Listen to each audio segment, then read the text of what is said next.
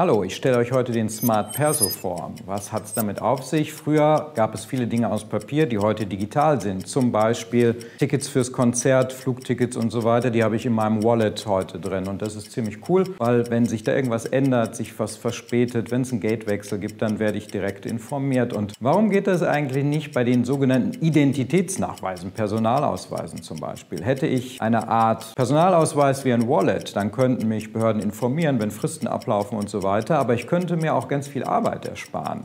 Zum Beispiel, wenn ich Quittungen sammle fürs Finanzamt, weil ich mir ein Fachbuch gekauft habe, muss das dann als Werbungskosten angeben. Das kann ich dann einfach scannen und dann geht die Information automatisch ans Finanzamt. Äh, so eine Idee finden wir ziemlich cool und wir nennen sie Smart Perso. Und das ist die Idee, die ich euch hier sehr ans Herz legen möchte.